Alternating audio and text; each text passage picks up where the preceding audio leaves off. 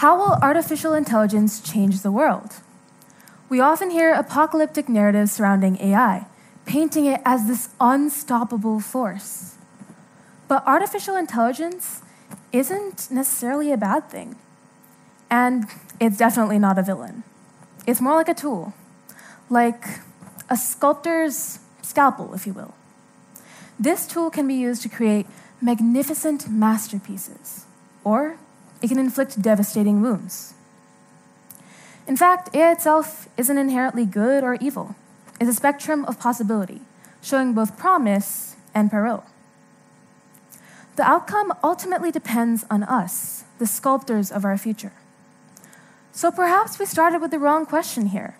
Maybe instead of asking, how will AI change the world, we should really be asking, how will we choose to wield it? Can we harness its power responsibly, fostering a future where the collaboration between humans and AI solves the world's greatest challenges? My name is Mihika Khan, and I believe the time to think again, reevaluate our assumptions, and chart a course for a beneficial future with AI is now. Let's remind ourselves of a time long ago. A curious human discovered fire, and at first, it was terrifying. It was wild, untamed, dangerous. But then we realized it could be used to cook our food, provide warmth, and protect us against wild animals. If left unchecked, it could also burn down forests and our homes. Fire wasn't good or evil, it was powerful, very powerful. AI is like our modern fire. Like fire, it can illuminate, transform, and protect. It could also burn if we are careless. The difference? Fire took thousands of years to spread across civilizations. AI would take a few days. That's the scale of the opportunity and the risk. But now let's talk about the bright side to AI, because really, it's spectacular. AI is revolutionizing education. Imagine a personalized tutor for every child, regardless of their background, the amount of money in their parents' pockets, or their neurodiversity. AI is also shaping up the agricultural industry, helping farmers improve crop yield, manage their resources more efficiently, and reduce waste. AI also plays a big role in medicine, helping doctors diagnose diseases faster, inventing new pharmaceuticals and drugs, and also predicting outbreaks before they even happen. And aside from all of that, AI has so much untapped potential that it is ultimately leading to the creation of many new industries we haven't even dreamt of yet. As AI expert Mustafa Suleyman had said in his book, The Coming Wave, if the internet gave people the ability to broadcast, AI gives everyone the ability to do things on an unprecedented scale. Now, here's the catch with great power comes great.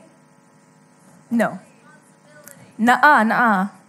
Not responsibility, not just responsibility.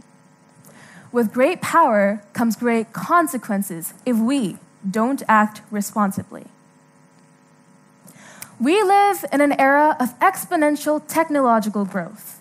Not just AI, but synthetic biology, quantum computing, and robotics are merging to reshape the world as we know it. The opportunity to play God is within our hands. And yes, these technologies can be misused. AI in particular could be used in cyber wars, used to spread disinformation, or even used to design biological hazards such as bacteria or virus that could wipe out millions. The possibilities with AI are endless in both good ways and bad. It's essentially like giving everyone the blueprint to a super powerful engine. Most people will build cars. Some people might build missiles. And in fact, this isn't even the future. This is today. A high profile, well guarded scientist in Iran was assassinated in a drive by shooting by a remotely operated AI guided machine gun.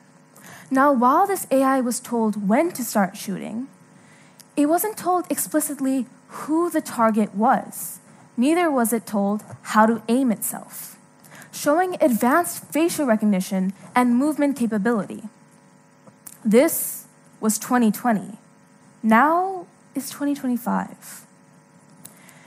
Imagine robots equipped with not just facial recognition, but DNA sequencing and automated weapons. Future robots could be the size of a bird or a bee and be equipped with a small firearm or a vial of anthrax.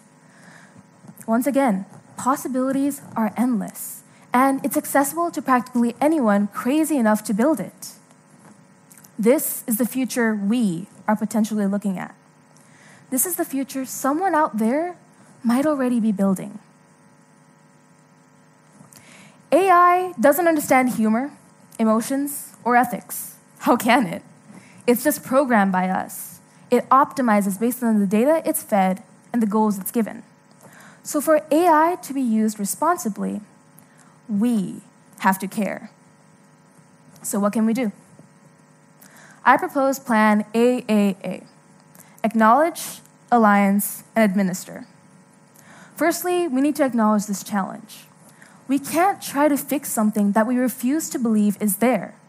We must admit that AI, while powerful, has risks that we don't understand yet, risks that morally skewed opportunists are taking advantage of to hurt millions of individuals with.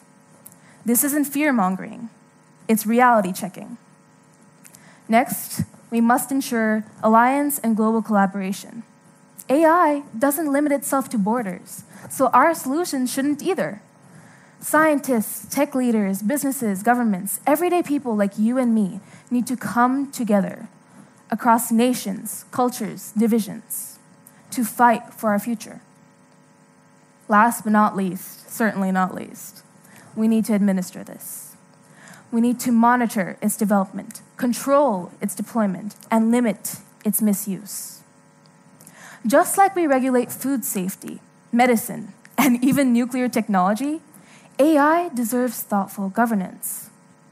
To start this process, I started working on the Society of Responsible Artificial Intelligence, SORAI for short, to continue spreading my message and raising awareness. I want you to contribute to this cause, whether it's telling your friends, telling your family, or posting about it on social media such as Instagram or Facebook.